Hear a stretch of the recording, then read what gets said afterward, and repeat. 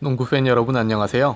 NBA 선수들의 커리어를 읽어드리는 농구 이야기 NG 리우입니다. 득점, 리바운드, 어시스트, 스틸, 블록 등 농구 실력을 나타내는 기본적인 지표에서 모두 임팩트를 줄 수 있는 선수들을 올라운드 플레이어라고 부르죠.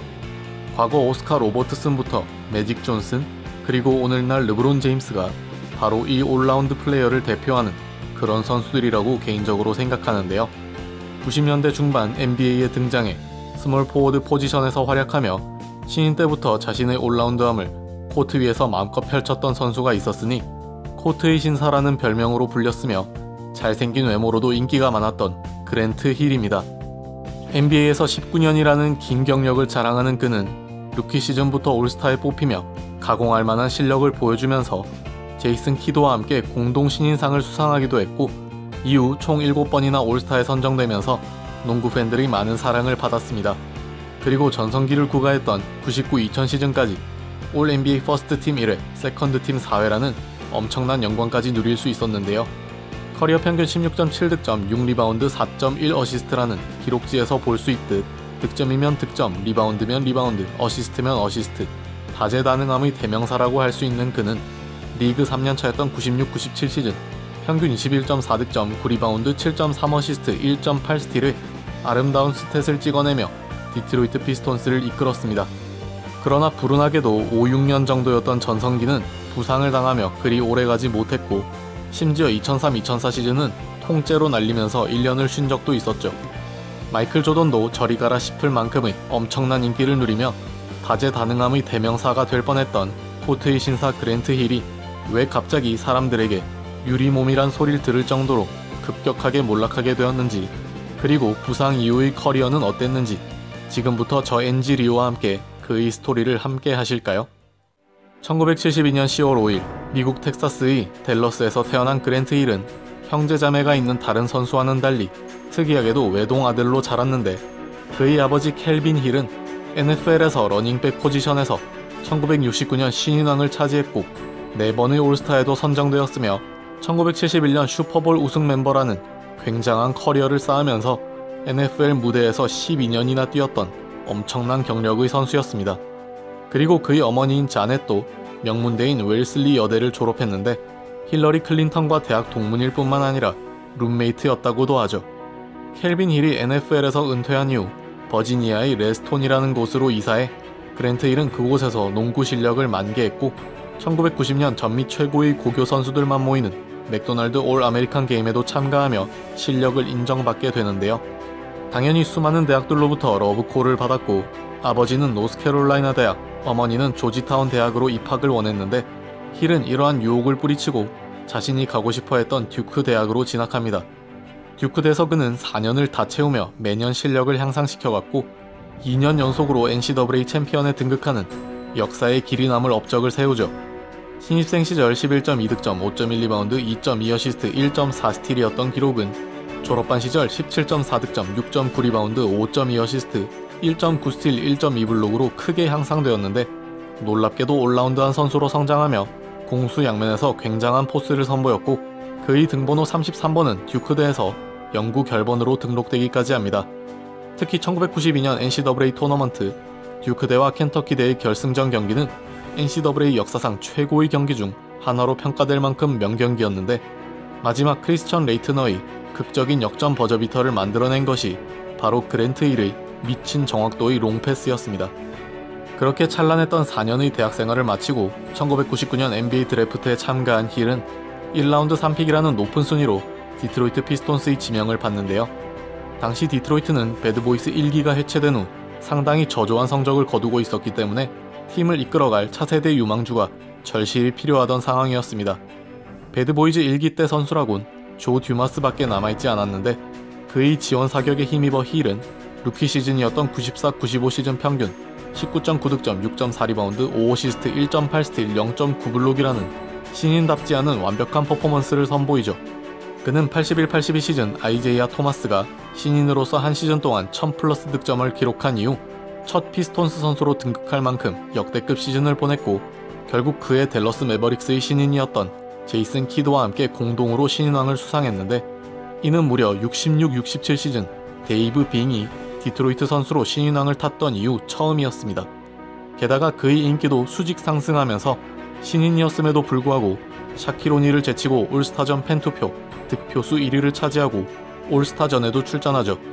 특히나 94-95 시즌은 마이클 조던이 은퇴했던 시기였기 때문에 NBA를 이끌어갈 차세대 아이콘이 절실히 필요했는데 때마침 올랜도 매직의 페니 하더웨이와 더불어 그랜트 힐이 나타나 함께 주목받았습니다. 다음인 95-96 시즌 더욱더 성장한 힐은 평균 20.2득점, 9.8리바운드, 6.9어시스트, 1.3스틸을 기록 스몰 포워드 포지션에서 뛰던 그였지만 무려 10개에 육박하는 리바운드를 잡아냈고 한 시즌 10개의 트리플 더블을 달성해 이 부문 1위를 차지함으로써 그의 올라운드함을 또 한 번 입증합니다. 그리고 마이클 조던이 돌아왔음에도 이번엔 그를 제치고 올스타전 팬투표 1위를 달성하며 루키 시즌 때보다 더한 인기를 누리는데 그의 인기가 어느 정도였냐면 심지어 힐이 원정팀 경기를 갔을 때 장내 아나운서가 그의 이름을 호명하면 홈팀 선수들의 환호에 버금가는 엄청난 환호성을 받는 아이러니한 상황까지 있었죠. 힐의 전천후 활약에 힘입어 지난 시즌 28승을 거두었던 디트로이트는 무려 18승을 더한 46승을 기록하며 4년 만에 플옵 무대에 올라서는데요. 비록 1라운드에서 샤킬 오닐과 페니 하더웨이의 올랜도 매직에게 0대3 스윕을 당하며 탈락했지만 힐은 큰 무대에서도 전혀 주눅들지 않고 좋은 활약을 계속해서 보여줬으며 생애 처음으로 올 NBA 세컨드 팀에도 이름을 올립니다. 또한 1996년 오프시즌 때는 미국 대표팀으로 올림픽에 출전해 금메달까지 획득하면서 최전성기를 맞이하는 차세대 슈퍼스타 그랜트 힐. 리그 3년 차였던 96-97 시즌엔 베테랑 선배 조 듀마스의 조언을 듣고 더욱 전투적인 모드로 돌변해 완전히 팀의 리더로 자리 잡게 되는데 49.6%의 커리어 최고 야투율을 기록하며 21.4득점으로 평균 득점을 끌어올렸고 어시스트도 7.3개로 career high를 찍으면서 포인트 가드급으로 팀을 진두지휘합니다. 그리고 리바운드도 동 포지션 대비해 여전히 잘 잡아내며 득점, 리바운드, 어시스트 3개의 카테고리에서 모두 팀 내 1위를 기록했고 13개의 트리플 더블을 해내며 또 한 번 1위에 올라서죠. 정규 시즌 MVP 투표에서도 칼 말론 마이클 조던에 이어 3위의 득표를 얻을 만큼 엄청난 지지를 받았고 이보다 더 놀라운 사실은 시즌 평균 20 플러스 득점, 9 플러스 리바운드, 7 플러스 어시스트를 기록한 선수가 보스턴 셀틱스의 레전드 레리 버드 이후 힐이 처음이라는 사실이었습니다. 또한 디트로이트의 성적도 54승으로 더 끌어올리며 동부 5위로 1997년 플옵에 안착, 2년 연속 플옵에 뛰어드는데 많은 사람들이 기대와는 달리 1라운드에서 애틀랜타 호크스에게 덜미를 잡히며 지난 플옵에 이어 또 빠르게 짐을 싸고 마는데요. 힐은 5년 차였던 98-99 시즌까지 꾸준한 활약을 보여줬지만 팀은 중하위권 성적을 벗어나지 못했고 무언가 더 필요하다고 느낀 그는 6년 차가 된 99-2000 시즌 공격에 더 집중하겠다는 뜻을 밝히고 더욱더 저돌적인 모습으로 평균 25.8득점의 career high 기록을 찍습니다. 이는 정규 시즌 3위에 해당하는 놀라운 기록이기도 했고 원래부터 약점으로 평가받았던 3점슛도 과감하게 시도한 그는 34.7%의 커리어 최고의 효율을 내면서 역시 그랜트 힐이라는 찬사를 받아내기도 하죠. 하지만 마지막으로 남아있던 배드보이즈 멤버들이 떠난 빈자리를 메우기란 쉽지 않았고 팀은 동부 7위로 플옵에 진출했지만 시즌 막판 발목 부상을 당해버리며 쓰러지고 맙니다. 그래도 플옵 1라운드 징크스를 깨고 싶었던 그는 부상 회복이 덜 된 상황에서 플옵 1라운드 마이애미 히트와의 시리즈에 억지로 복귀했는데 이것이 비극을 불러오고 말죠. 1차전을 강행한 힐은 역시나 100% 컨디션이 아니었기 때문에 굉장히 저조한 퍼포먼스를 보였고 고작 13득점에 6턴오버나 저질렀는데요. 2차전에서 부상당한 발목 부위가 더 안 좋아지면서 21분여 정도를 플레이하다가 코트를 떠나 다시는 돌아오지 못했고 결국 0대3으로 수입당하는 팀의 모습을 그저 지켜볼 수밖에 없었습니다. 2000년 오프시즌 자유계약 선수 신분이 된 힐은 고민에 고민을 거듭한 끝에 올랜도 매직과 계약을 하려고 했으나 디트로이트가 sign and trade로 그를 보내면 더 많은 이익을 챙길 수 있다고 판단해 7년 92.8 million 달러의 계약을 맺고 그를 올랜도로 보내게 되죠. 트레이시 맥그레이디를 얻은 올랜도 프랜차이즈도 슈퍼스타인 힐까지 데려올 수 있었기 때문에 팀 리빌딩에 박차를 가할 수 있을 것이라 생각했는데 안타깝게도 그는 올랜도와의 첫 동행이었던 2000-2001 시즌부터 2002-2003 시즌까지 3년이라는 긴 시간 동안 다 합해서 고작 47경기밖에 출전하지 못했고 이는 디트로이트에서 당했던 그 발목 부상이 정말 그의 발목을 잡는 고질병이 되었기 때문이었습니다. 게다가 2003년 3월 발목 수술을 또 받은 그는 심지어 2003-2004 시즌은 통으로 날려버리기도 했죠. 올랜도로 이적한 후 7년이란 긴 시간 동안 무려 4번의 발목 수술을 받아야 했던 힐. 엎친 데 덮친 격으로 도중에 탈장 수술까지 받는 정말 개인적으로 이렇게까지 고통받을 수 있나 싶을 정도로 암울했던 힐이었는데요.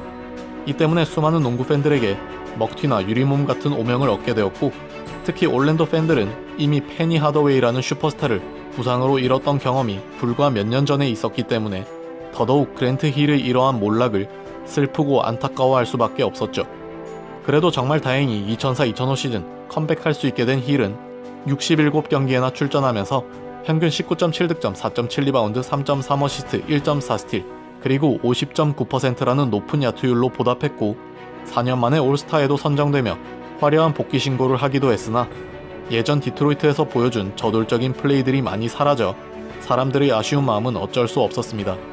그리고 환상의 원투펀치를 보여줄 것만 같았던 힐 티맥 듀오 중 티맥은 이미 휴스턴 로켓츠로 팀을 옮긴 상태였죠. 그래도 이제는 부상에서 완전히 회복한 듯한 힐의 모습에 기대감이 높아졌고 고대하던 2005-2006 시즌이 되었는데 이번엔 또 탈장에 시달리며 고작 21경기밖에 출전하지 못합니다. 불안불안한 그의 건강 상태에 농구 팬들은 다시 초조해졌지만 다음 시즌엔 다시 건강한 모습으로 65경기에 출전할 수 있었는데요. 하지만 너무나 허무하게 올랜도에서의 7년이란 시간이 지나가 버렸고 2007년 오프 시즌 자유계약 선수 신분이 된 힐은 올랜도와의 재계약, 타 팀으로 이적, 아니면 은퇴까지도 고려했지만 결국 피닉스 선즈와 계약을 결심하고 커리어 세 번째 팀으로 둥지를 옮기게 됩니다. 2007-2008 시즌 피닉스에서의 첫 시즌을 맞이한 힐은 당시 승상 스티브 내쉬와 상남자 아마레 스타더마이어를 중심으로 up-tempo 농구 시스템을 구사하던 피닉스에 상당히 잘 맞아 들어갔습니다. 평균 13.1득점, 5리바운드, 2.9어시스트를 기록, 오히려 리바운드와 어시스트 수치는 올랜도에서의 마지막 시즌보다 훨씬 더 높아졌고 야투율 50.3%에 3점슛도 어느 정도 장착하면서 굉장히 효율 높은 농구를 구사하는데 가장 좋았던 점은 무려 8년 만에 70경기 이상을 플레이했다는 것이었죠. 비록 힐답게 또 프로 1라운드 탈락의 고배를 마시긴 했지만 건강한 모습으로 그것도 주전으로 출장하는 힐의 모습을 볼 수 있어 농구 팬들은 좋았고 심지어 다음인 2008-2009 시즌엔 82경기에 모두 출전했는데 이에 피닉스 의료진 중에 화타가 있다는 소문이 있을 정도로 힐의 회춘에 많은 사람들이 놀라운 반응을 보이기도 했었습니다. 2009년 오프시즌 다시 자유계약 선수가 된 힐은 피닉스와 2년 재계약에 성공하면서 커리어를 이어나가게 되는데요. 2009-2010 시즌에도 81경기에나 출전했고 비록 37세의 완전 노장이 된 그였지만 평균 11.3득점, 5.5리바운드, 2.4어시스트의 꾸준한 활약으로 내쉬 스타더마이어를 보좌했고 피닉스도 무려 53승을 거두며 서부 3위로 플옵에 진출합니다. 그렇게 피닉스는 1라운드에서 만난 포틀랜드 트레일 블레이저스를 4대2로 꺾으며 2라운드로 진출했고 힐의 1라운드 징크스도 16시즌 만에 깨지게 되죠. 그리고 다음 상대였던 샌안토니오 스퍼스도 4대0 sweep을 해버리며 생애 처음으로 서부 컨파까지 올라간 그랜트 힐과 우승에 꾸준히 목말라 있던 피닉스 선즈. 비록 당시 우승을 차지했던 LA 레이커스에게 2대4로 무릎 꿇긴 했지만 힐은 플옵에서도 알토란 같은 역할을 하며 베테랑의 면모를 유감없이 보여줬습니다.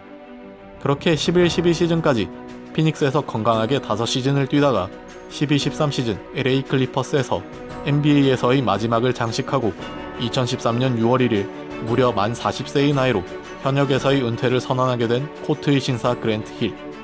농구 황제 마이클 조던, 티맥 트레이시 맥그레이디와 함께 NBA 역대급으로 뛰어난 first step을 가졌다고 평가받는 힐은 전성기 시절 폭발적인 first step에 이은 화려한 마무리로 멋진 하이라이트 필름들을 수없이 만들어냈고 크로스오버나 돌파 이후에 찍어대는 폭발적인 덩크는 전성기였던 디트로이트 피스톤스 시절 그의 전매 특허이기도 했는데요.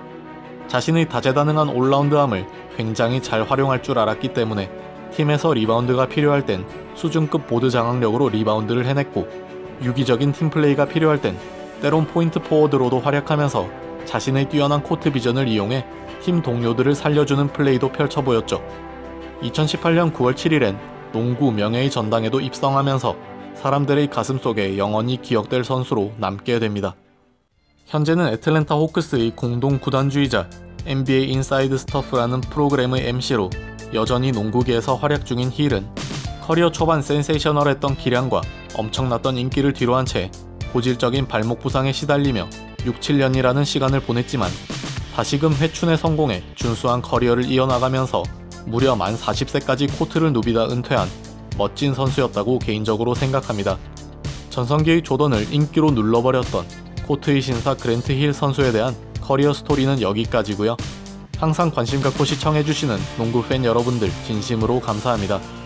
저는 농구 이야기 NG 리우였으며 다음 또 재미있고 알찬 영상으로 찾아뵙겠습니다.